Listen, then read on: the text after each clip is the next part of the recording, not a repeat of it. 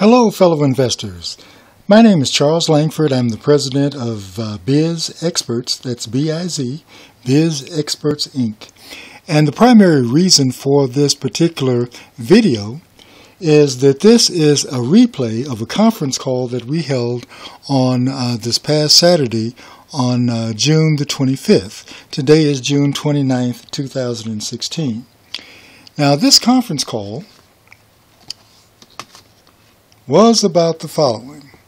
Hope you can see this. And by the way, for those of you guys who are not in a position where you can watch anything on a video. I only have about uh, four little slides that I want to share, so don't worry about missing these slides. This is just for information uh, because, like I said, the primary reason for this video is just a replay of the conference call.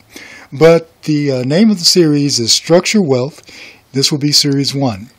So the telephone number for getting onto this series is area code 712 432 3900 and the ID to get on the call is 98 1120 with the pound sign or the um, um, I forget what other thing you call that pound sign, but the ID is 98 1120. This call will take place every Saturday morning from 8 a.m. to 9:30 a.m. Pacific time, and it did start June 25th, and uh, the last class will be July 16th. Now, it is my desire to have all of the replays available on YouTube so that if you do miss a class, you will be able to uh, get caught up. Now, the next little slide that we want to pull up is just what the uh, conference call will actually cover, what it will entail.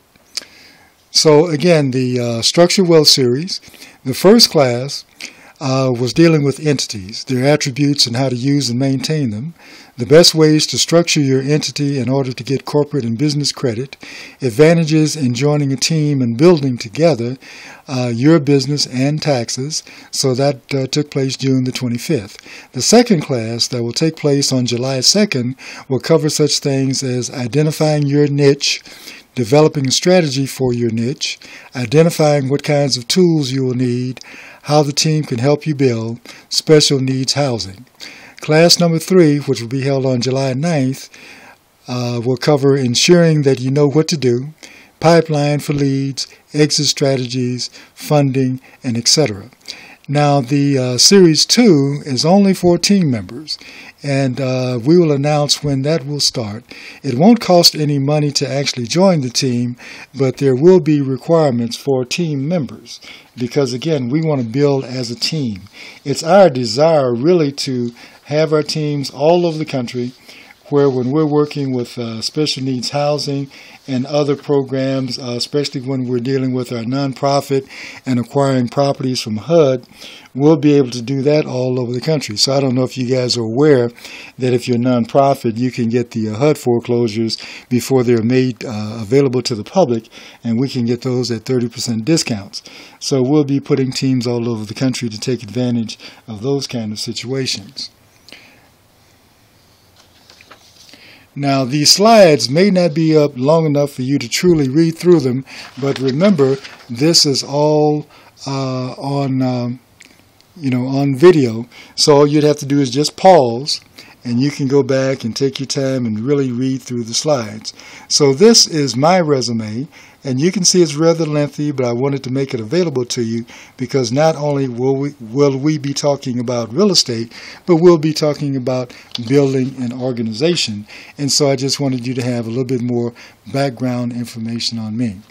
So without further ado, we will go ahead and get right into this past Saturday's conference call.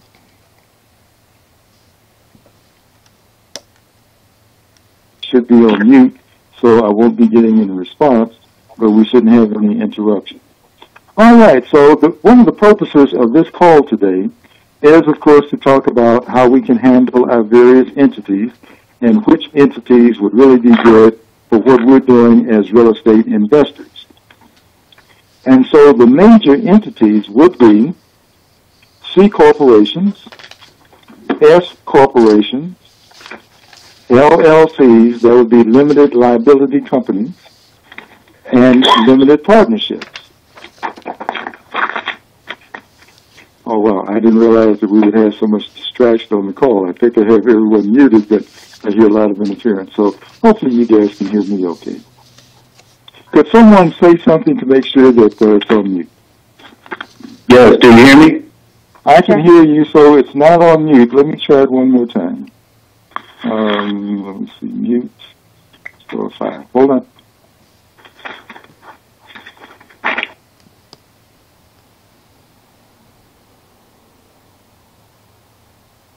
Okay, great. Everyone now is on mute. If you really do have a question, you can unmute by pressing star one and ask me a question.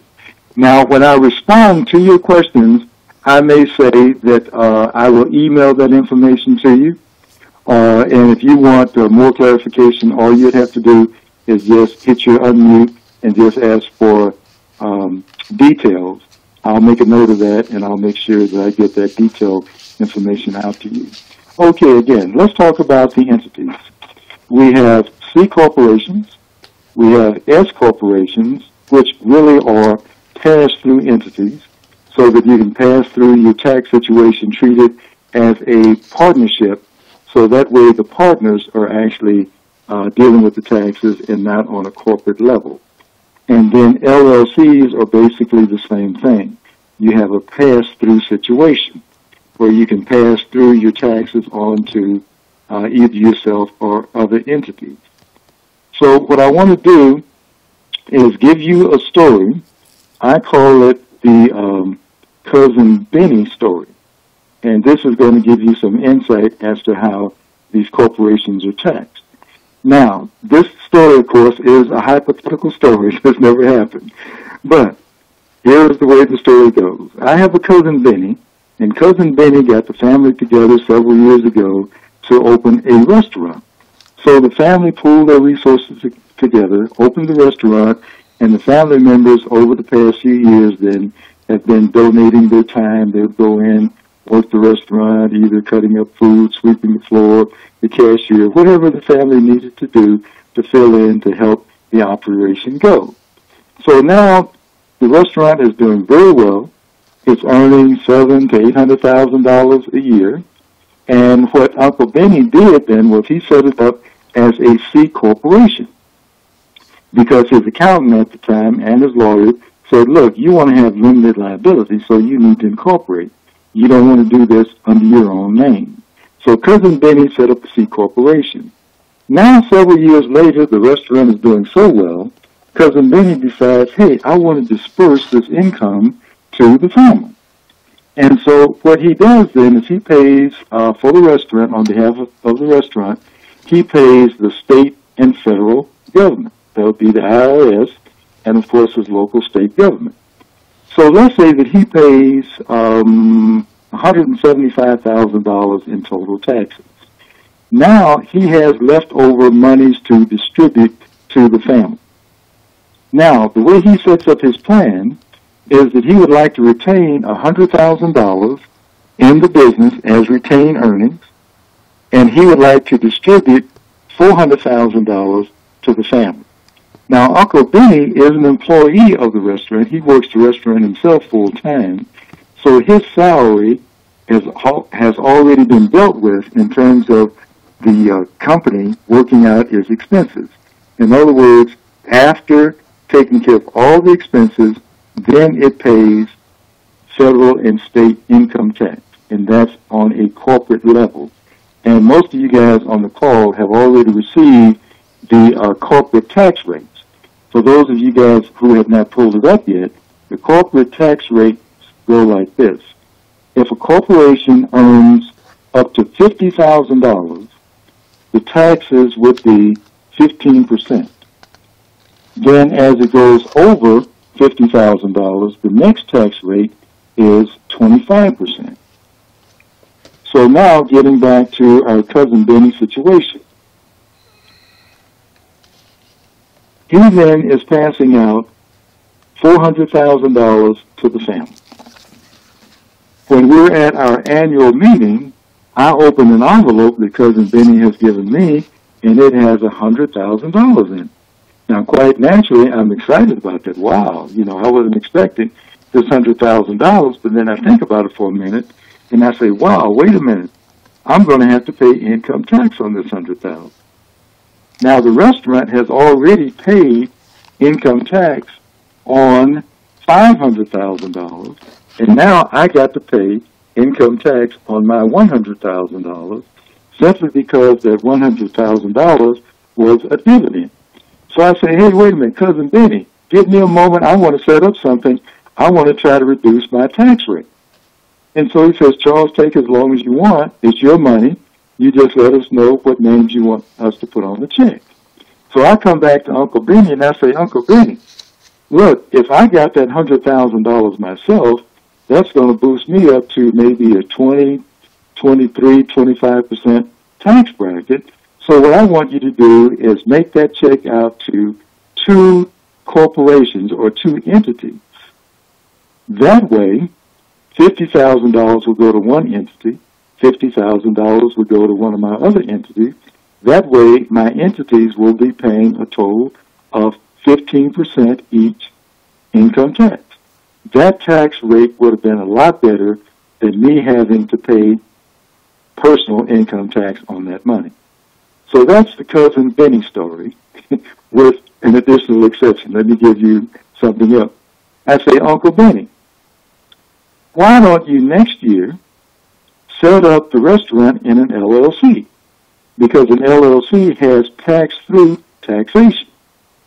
So now the LLC, if it had five hundred, six hundred, seven hundred thousand dollars in taxable income, the restaurant will not have to pay any income tax because it will not be taxed at the corporate level.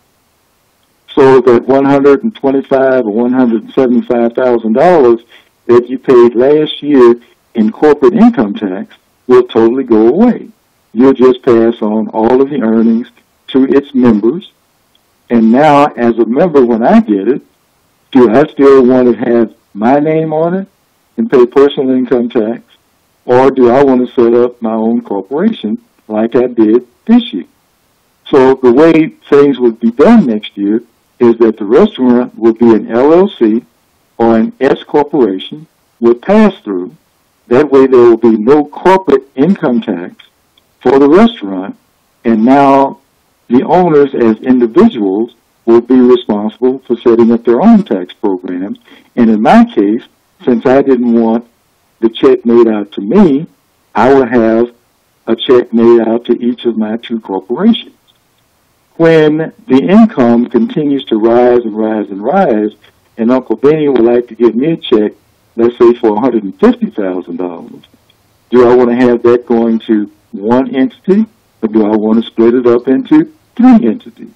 Now, when I say three entities for me, again, those entities could be C corporations, S corporations, whatever I want them to be, and my entity then, I would want to have it taxed at a corporate rate. Because again, from our tax tables, we see that the corporation only pays 15% on the first $50,000 worth of income, taxable income. So do I ever want one of my entities to have $70,000 worth of taxable income? Why would I do that? Why not just break it up into two entities? That way we're splitting it up and none of my entities will be at over $50,000. Now, enough for the restaurant story. I hope you guys were able to follow that. What I want to do now, though, is give you information from two of my gurus. One, his name is J, the initial J, Douglas Jennings. He is an attorney out of La Jolla, California. That's near San Diego. Now, he specializes in taxes. He doesn't do divorce cases and lawsuits and all of that. His specialty is taxes. Now, the way he sets up the program is as follows. You come into his office and he says, okay, you want me to handle your taxes. How much income do you earn? And let's say that you earn less than $250,000 a year. He then asks the question, well, how much income tax would you like to pay? Now, of course, you're going to be startled by this. Going to say, what do you mean how much do I want to pay? I don't want to pay anything. Doug's response is, no problem. If you earn less than $250,000 a year, you shouldn't have to pay any income tax. Wow, is that real? Talk to me. Let me know how can we do that. Now, I'm just going to give you an overview how he does it. And at some later point in time, I can give you more detail. But here's the overview of how he does it. He says, look, Charles, what we want to do, since you said that you don't want to pay any personal income tax, we're going to divert all of the income that you have to an entity, some type of corporation, LLC, C Corp, whatever the entity is going to be. We wanted to, to divert all of your income over to the entity. And there are ways to do that. For example, like if you worked in, in the, uh, if you were a nurse, rather than for the hospital to send you a check directly, have you as an employee on the payroll, then um, uh, he would work towards getting you on some kind of a nurses registry. Uh, way back in the day when I worked corporate America, we called them job shoppers or temp agencies or something, where you are not really an employee of the company. Then the company is going to treat you as an independent contractor and thus not have to provide various benefits to you. Whoever you're working for, your temp agency, is going to provide you with all the benefits. Now, let's not look at that in any more detail right now. This is just an overview. The key thing is this. Doug says, look, what we're going to do is look at your personal situation and see what we can do in terms of creating you the most deductions that we can. So we may need to set you up some kind of home-based business, uh, or whatever we're going to do for you to have the most deduction.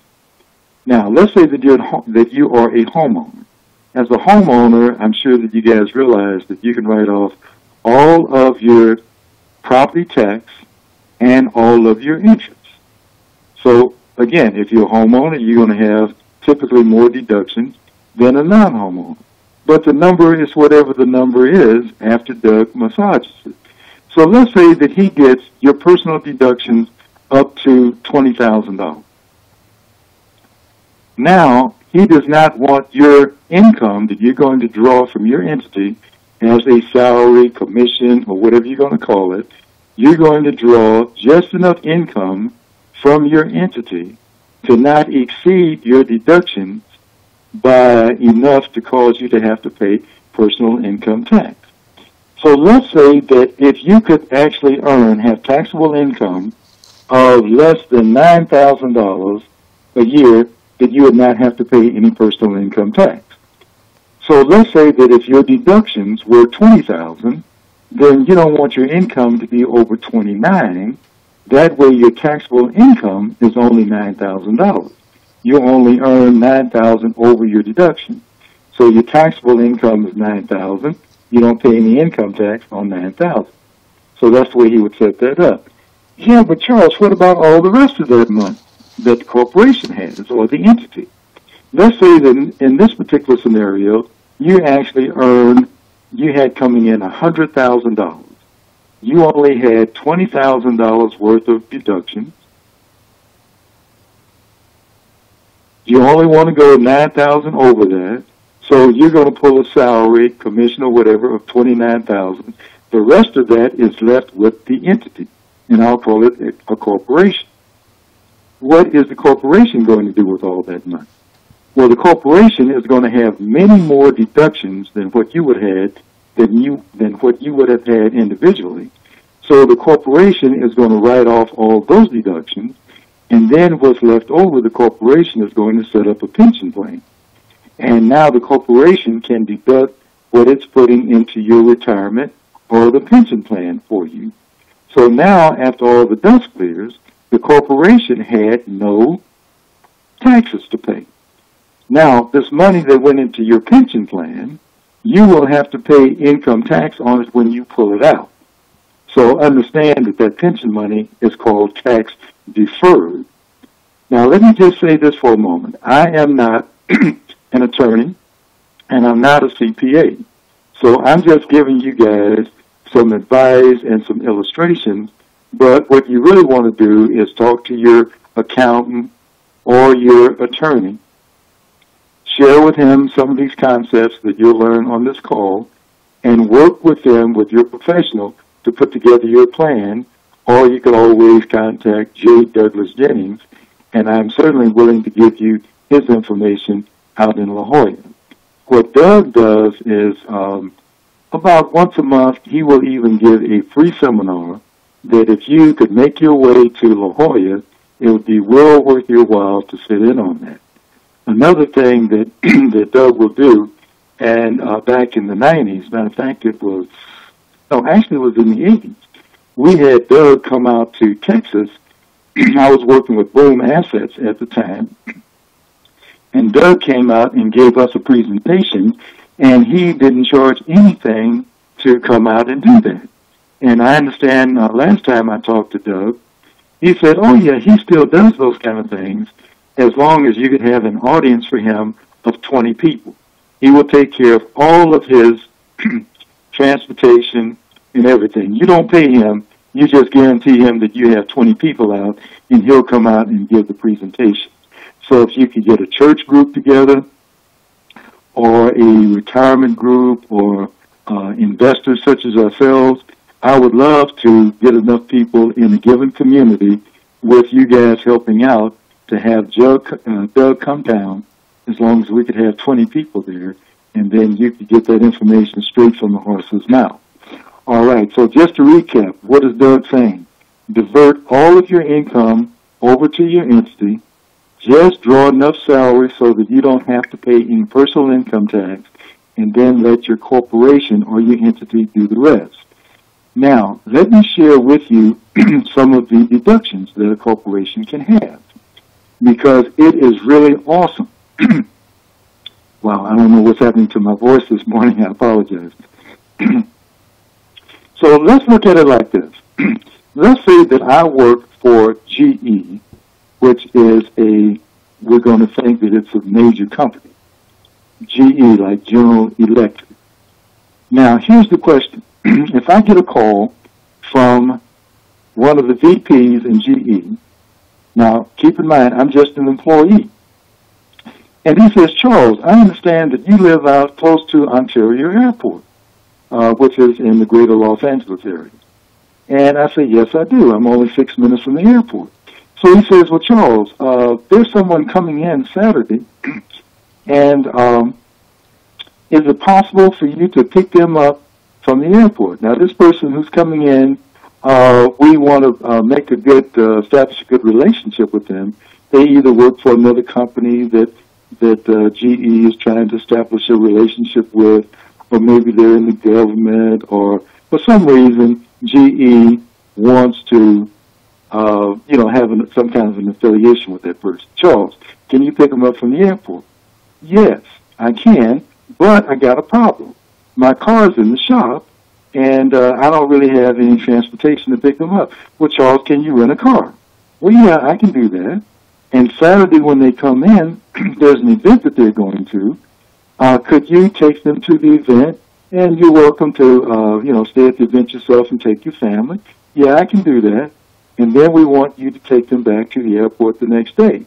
Now, here's the question.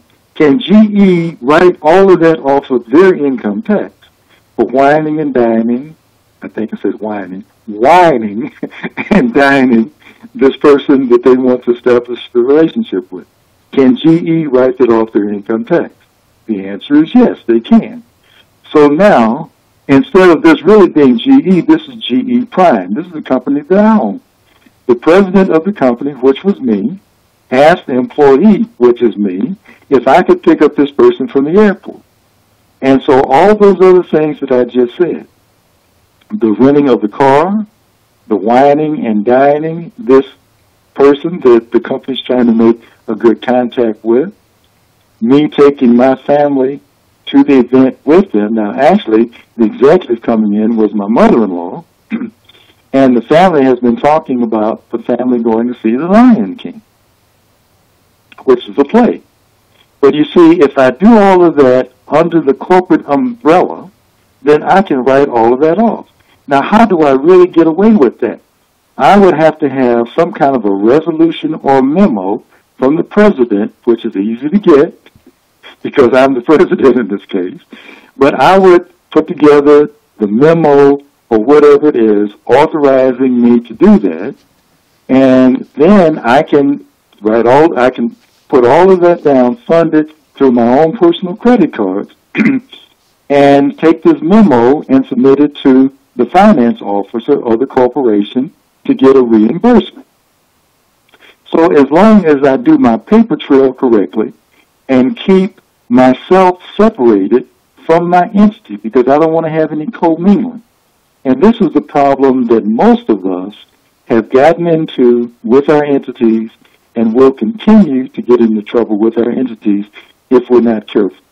We should not commingle our assets, or if I have several different companies, you don't want to commingle company assets because once you do this commingling, then if you ever got sued, someone can quite easily pierce through what's called the corporate veil to get at you personally because you were not separated. This entity became just your alter ego. I repeat that. If the entity is proven to be just your alter ego and shared in assets, then when they pierce the corporate veil, they're getting the court to say if they shared in assets, then they should share in liability. Okay? So, that ends that.